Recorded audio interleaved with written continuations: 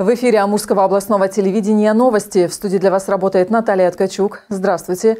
И вначале коротко о некоторых темах выпуска. Жилье социально незащищенных семей бесплатно оснастят пожарными извещателями. Не вся благотворительная помощь востребована в зоне СВО. Прохождение отопительного сезона на особом контроле властей. Первые туристические группы из Преамурья, возможно, отправятся в Китай весной. Губернатор Василий Орлов ответил на волнующие амурчан вопросы. Большинством голосов депутаты Благовещенской городской думы поддержали инициативу присоединения села Чигири к городу. Федеральная программа по отлову и стерилизации бродячих собак в Амурской области неэффективна, однако работа в этом направлении продолжится. Устранение цифрового неравенства. В двух селах Белогорского округа установили современную вышку по обеспечению местных жителей высокоскоростным интернетом. А сейчас об этих и других темах более подробно. Реализация крупных инвестпроектов в Амурской области, прохождение отопительного сезона в аномальные морозы, 50-летие БАМа – об этом и многом другом губернатор области Василий Орлов рассказал в ходе своей традиционной прямой линии с жителями региона. В этот раз она была немного короче, чем обычно, но зато прошла с огоньком. Юрий Камышный продолжит. В начале своей прямой линии губернатор рассказал об итогах своей командировки в Москву, где прошло совещание с полпредом в ДФО Юрием Трутневым. Один из вопросов, который на нем поднимался, реализация крупных инвестпроектов в регионе. Так в Амурской области будет развиваться предмостовая зона международного моста через Амур. По словам Василия Орлова, уже этой весной по нему может открыться туристическое движение между Россией и Китаем. Эта тема сейчас находится в проработке. Кроме этого, готовится строительство еще одного перехода из Сковородино в Махе, а также в Белогорске. Через несколько лет заработает крупнейший в стране завод по переработке сои. Напомню, что в этом году у нас урожайность общая составила в валовом сборе миллион шестьсот тысяч тонн. Это рекорд. Обычно мы собираем миллион триста, миллион двести тысяч тонн. Соответственно, завод на 500 тысяч тонн мощностью переработки э, значительную часть сои будет перерабатывать здесь на месте, создавая тем самым дополнительные места э, рабочие, налоги, э, добавленную стоимость и так далее. Поэтому этот завод стратегическое значение имеет. Площадка выбрана в Белогорске. Соответственно, этому заводу будет присвоен статус территории опережающего развития. Необычно начал разговор губернатор и о пожарной безопасности в деревянных домах в зимний период. Вот смотрите.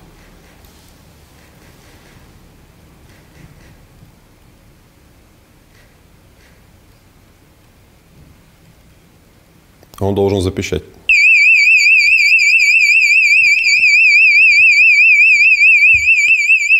На то, чтобы приобрести порядка 4000 вот таких пожарных извещателей, область выделит 7 миллионов рублей. Приборы в ближайшее время передадут многодетным и малоимущим семьям. Но губернатор призвал граждан при возможности в целях безопасности купить устройство самостоятельно.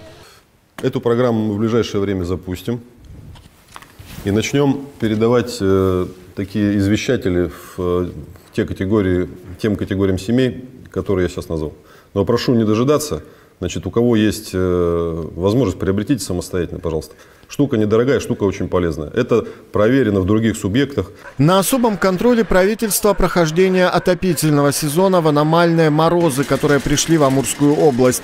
Так в Райчихинске из-за ремонта котельной «Север», которая отапливает 160 домов и три детских сада, снизилась температура. Глава региона также рассказал и о проблемах, которые возникли у жителей гарнизонного микрорайона в Важаевке, где запустили в работу новую котельную. Причины. Первая причина и главная – это неготовность э, сетей внутридомовых, то есть в подвалы, полные подвалы воды. И этим надо было заниматься в летний период, и времени для этого было достаточно. А если денег не хватало, то надо было об этом сказать. Мы нашли возможность профинансировать. Вторая причина – это жители, которые разбирают э, из батареи эту воду и пользуются ей в э, бытовых, так сказать, целях. Моются, моют посуду и так далее. Поэтому по факту вот эти 145 тонн котельная вынуждена поднимать насосами с холодную воду, снова доводить до определенной температуры, там, до 80 градусов примерно, и запускать ее в систему. Конечно, это требует и дополнительных расходов по топливу, и, конечно, это сказывается на температуре батареи. Отдельная тема прямой линии спецоперация на Украине. Губернатор обратился ко всем, кто помогает нашим бойцам на передовой. В зону СВО нужно посылать только то, что указано в списке необходимых вещей. Он размещен на сайте регионального правительства. Узнать информацию также можно по номеру горячей линии 122. У нас бывает так, что бизнес отдельно направляет э, по заявкам, там, по телефону созванивается, направляет какие-то вещи туда, квадрокоптеры, значит, там, прицелы различные и так далее, то, что просят. Здесь надо обязательно это с нами согласовывать, потому что мы на прямом контакте с армией. Не все эти приспособления можно использовать. Они могут и опасность в себе таить. Скажем, по ним, их можно отследить, там, с, враг может это все отследить и так далее. Поэтому надо все это делать очень внимательно. В следующем году в Тынде намечены большие торжества в честь 50-летия БАМа. Василий Орлов рассказал, какие подготовительные работы пройдут в этом году. Нам надо завершить работы по улице Красная Пресня, с которой два года мэрия там толком не смогла ничего сделать, и вы знаете все последствия этих, этого, этих решений, бездействия и так далее. Э, дополнительно будет выделено еще финансирование на э, ремонт и восстановление улиц, прилегающих, кроме Красной Пресни. Там надо завершить строительство физкультурно-оздоровительного комплекса. Э, там будет проведен летом фестиваль муралов. И шесть муралов э, за счет спонсорских средств будет э, изображено. Здесь прошу жителей более активно поучаствовать, потому что от вашего мнения будет зависеть, собственно, что конкретно, в каких цветах, что именно будет нарисовано в тыне. Губернатор заверил жителей Заветинска, что вблизи их города больше не будут утилизировать удобрения, а также пояснил, почему этот процесс вызвал беспокойство у населения после того, как эту информацию распространили федеральные блогеры. Мы провели несколько, несколько независимых лабораторий, лучших в стране, в том числе государственных и негосударственных. Приезжали, брали пробы, и значит, там нет никаких э, веществ, которые бы представляли действительно реальную опасность. Поэтому еще раз повторяю, ничего там страшного нет, э, не переживайте, все это будет утилизировано э, подальше от Заветинска, просто чтобы народ, так сказать, не будоражил. Амурчане в ходе прямой линии попросили губернатора зимой носить шапку, на что Василий Орлов пообещал выполнить эту просьбу. В этот раз разговор главы региона с жителями продлился почти 50 минут. Юрий Камышный, Амурское областное телевидение. 26 января в Ивановке на котельной произошел сбой в работе одного из четырех котлов. По сообщению главы Ивановского округа Валентины Альшевской, руководство теплоснабжающей организации договаривается о поставке высококалорийного угля, чтобы обеспечить теплом жителей села. Сбой произошел на самой крупной котельной из семи действующих. Она обеспечивает ресурсом 18 домов и один детский сад. Из строя на теплоснабжающем объекте вышел четвертый резервный котел. Его еще в декабре прошлого года запустили из-за морозов. Сейчас сломалась транспортная решетка, по которой в котел подавался уголь. Отремонтировать оборудование планируют в течение двух-трех дней. В первый день коммунального сбоя жалоб на холод в квартирах не поступало, отмечают в местной администрации. Эти аварии редко случаются. У нас за этот год не было никакой крупной аварии. И за прошлый год все стабильно, контролируемо. Нам всегда помогает э, управление, Министерство жилищно-коммунального хозяйства правительства Амурской области. Выделяют по нашим заявкам то, что необходимо да, э, по программе модернизации жилищно-коммунального хозяйства. Поэтому вот такая авария нестандартная случилась, э, поломка котла, но быстро применены все меры для того, чтобы это быстро устранить. Из-за низких температур с 14 по 22 января в Амурской области произошло 23 сбоя в системах водоснабжения и 6 на котельных. Трубы перемерзли в Михайловке Благовещенского района, Новокиевском увале Мазановского района, микрорайоне Светлые, города Зея, в поселке Серышево и село Ярковцы Октябрьского района. Водоснабжение везде восстановили оперативно, это сообщается на сайте регионального правительства. Самой сложной этой зимой стала котельная «Север» в Райчихинске – которая отапливает почти 160 многоквартирных домов. Из-за поломки одного из трех котлов в городе ввели локальный режим ЧС. Котел ремонтируют, средства на это выделили из резервного фонда Амурской области. Дано было поручение нам оперативно отрабатывать в этом направлении, потому что по сроку службы э, пять лет э, назад котел ремонтировался, но мы сейчас параллельно разбираемся о причинах, э, скажем, выхода из строя котельного оборудования раньше нормативного срока. Там не менее 8 лет этот котел должен был отработать. Потому это будет в ходе проверки установлена причина либо некачественного материала, либо некачественная эксплуатация. Но сейчас я говорить об этом рано, то есть ну, эту работу мы проводим и будем разбираться. Проблема бродячих собак особенно актуальна для регионов с малой плотностью населения. Найти хозяев для бездомных животных там непросто. По этой причине федеральная программа по регулированию численности безнадзорных четвероногих неэффективна и в Преамуре. Это подчеркнул губернатор Василий Орлов во время прямого эфира. При этом глава области отметил, работа по отлову собак в регионе ведется. Так, до 150 бродячих животных ежемесячно будут проходить стерилизацию и чипирование в вольерах Благовещенского приюта «Горячие сердца». Новый статус и функционал организация получила благодаря гранту в 10 миллионов рублей. Подробности в материале нашего корреспондента Евгения Вдовенко. 10 миллионов рублей на модернизацию приюта для бездомных собак – сумма для Преамурья рекордная. Губернаторский грант за защитники получили благодаря тщательно расписанной программе. Есть э, федеральный закон, да, который э, регулирует содержание э, животных. И есть 785 постановление нашего правительства, в котором тоже прописаны определенные требования. То есть эти требования все должны быть, ну их достаточно много, они должны были все быть соблюдены. Вот. И мы прям вот писали по этим требованиям. Сложность была и в том, что всю сумму гранта надо было реализовать ровно за месяц. Чтобы успеть, к закупкам оборудования и строительству ограждений привлекли добровольных помощников. Сейчас на обнесенной забором территории более полусотни вольеров для содержания собак, полтора десятка изолированных карантинных загонов, плюс еще несколько мест в теплых вагончиках. Все сделали, основное остается, ну вот такие вот работы, которые, например, там, ну вот повесить э, нагреватель, да, подключить плиты, э, такая уже техническая работа. Угу. Основное все сделано. Вольеры построены, карантин есть, э, стационар есть, моечный, ну все есть. Все есть. Территория огорожена у нас, э, септик у нас есть, вода у нас есть. По условиям гранта постояльцы приюта для животных будут проводить здесь лишь три недели. За этот срок они пройдут ветобследование, лечение в случае необходимости, стерилизацию и послеоперационную реабилитацию. То есть собаки отлавливаются, стерилизуются, чипируются, биркуются и возвращаются в среду обитания. Мы будем содержать все остальные процедуры. У нас э, медучреждение занимается этим. Ну, в частности, кто выйдет там на аукцион, я не знаю. Чаще всего Дальгау выходит. Первые животные на стерилизацию по муниципальному контракту поступят в вольеры приюта уже в ближайшее время.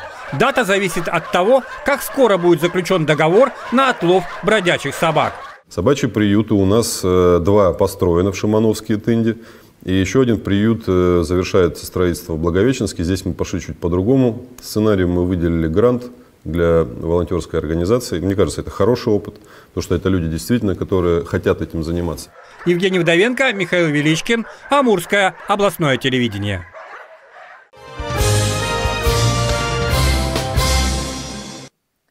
65 законопроектов за полтора часа. Январская сессия Законодательного собрания Амурской области стала объемной по содержанию повестки дня и непродолжительной по времени обсуждения вопросов. Подробности в следующем материале. Из 76 пунктов повестки 65 были связаны с внесением поправок и изменений в законопроекты разного уровня. Причем правки носили технический или редакционный характер, а потому поводов для споров не возникало. Как правило, для вынесения решения депутатам требовалось даже меньше времени, чем спикеру регионального парламента на оглашение формулировки вопроса. Это технические такие вот правки, которые мы должны были внести во все законы, э, которые у нас имеются. Сути не касались, почему сегодня очень много вопросов, но мы их прошли очень быстро, потому что, в принципе, изменения в каждый закон одни и те же. Для примера среди подобных вопросов был законопроект о бесплатном питании для некоторых категорий учащихся лицеев при АМГУ и БГПУ. Услуга эта предоставляется, но законодательно оформлена не была. Законопроектом предполагается распространить оказание меры социальной поддержки многодетным семьям, семьям в виде бесплатного питания один раз в день в дни посещения учебных занятий. Ряд предлагаемых изменений касался расширения перечня получателей льгот. В частности, депутаты облегчили процесс выкупа земли предпринимателям. Также одобрили закон о поддержке участников СВО. Все они используют различные меры социальной поддержки, по которым у них время от времени возникают э, ну, разные вопросы. Вот принятие данного законопроекта позволит эти вопросы решать в первоочередном приоритетном порядке. Также были утверждены изменения в бюджет Амурской области. Речь о 649 миллионах рублей, предназначенных на возведение двух социальных объектов, строительство которых начнется уже в этом году. Строительство детского сада на 70 мест в селе Ивановка Ивановского округа а, и строительство Центра культурного развития в городе Сковородино. А, средства перераспределены с муниципалитетов а, на а, областной бюджет. Реализацией и строительством этих объектов будет заниматься ГКУ «Строитель». Евгений Вдовенко, Владимир Петренко, Амурское областное телевидение. Территория Благовещенска может увеличиться более чем на миллион квадратных метров – Депутаты городской думы 26 января единогласно проголосовали за присоединение городу части села Чигири. Теперь предложение направят на рассмотрение в администрацию Благовещенского округа. Речь идет о районе улиц Василенко и Воронкова. Сейчас там поля и несколько гаражей. Жилых застроек нет. Всего город может прирасти на 177 участков. Тема смены статуса села Чигири обсуждается последние несколько лет. Расширение границ поможет вывести населенные пункты на новый уровень развития – Предполагается, что процесс будет идти в несколько этапов с обязательным проведением общественных слушаний. Присоединение участков, о которых говорят депутаты, это первый этап. Присоединение дополнительной территории к территории городского округа позволит обеспечить комплексное развитие территории, обеспечить ее коммунальными ресурсами, инженерными сетями, дорогами, отвечающими нормативным требованиям, общественным транспортом за счет привлечения инвестиций в социально-экономическое развитие города. Статус административно-политического центра Амурской области позволяет быстрее и интенсивнее привлекать средства федерального бюджета в рамках реализации национальных проектов. Следующим этапом по прогнозам станет присоединение к Благовещенскому микрорайона Тепличный. Пока точных сроков не называют, отмечается, в этом случае процедура будет более длинной и сложной. На территории микрорайона больше 20 многоквартирных домов. Потребуются публичные слушания. Современная базовая станция для высокоскоростного интернета. Такая вышка появилась в селах Успеновка и Павловка Белогорского округа. Это стало возможно благодаря федеральной программе устранения цифрового неравенства. Интернет в этих двух селах появится в конце марта. Сейчас идут пусконаладочные работы. Новое оборудование с поддержкой 4G позволит сельчанам получить быстрый и качественный доступ во всемирную сеть даже в часы пиковой нагрузки. Подрядчик зашел э, в, 22, в декабре 22 года и обещают работу закончить ну, к марту месяца. Мобильная связь нам очень нужна, потому что у нас плохая э, сотовая связь, на интернет люди не могут выйти, а сейчас в наше время это необходимость, потому что все у нас завязано на мобильной связи.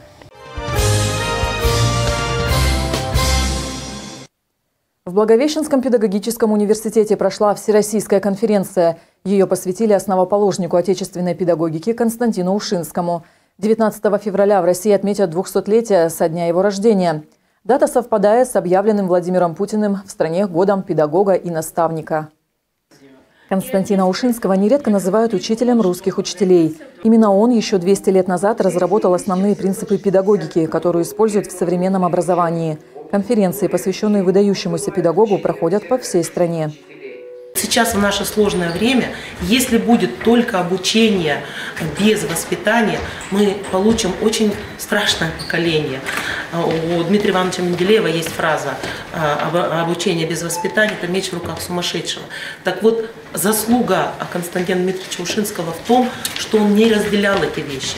Он не разделял, не разделял детей по сословиям, он не разделял э, воспитание и обучение. Он создал вот тот комплекс педагогической науки, который мы сейчас впитываем в себя в стенах э, педагогических вузов. 26 января с самого утра в центральной части Благовещенска были слышны взрывы петард и хлопушек. Так шумно продолжают праздновать Новый год наши соседи, жители Хэйхэ.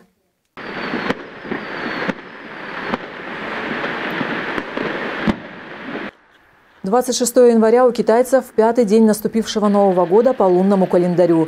Наши соседи уверены, что именно в это время родился бог богатства. У китайцев вот э, весь Новый год расписан, то есть там с 21 на 22 они праздновали в составе семьи внутри. На следующий день они там, идут куда-то в храмы молятся, там богам приносят какие-то тоже подарки. Затем еще что-то принимают гостей, идут в гости. А вот э, пятый день это как раз э, взрывают петарды на удачу. Вот если мы 21 прибавим 5, будет 26 января. Как раз сегодня, вот сегодня они бахают петарды, чтобы у них ну, была удача весь год.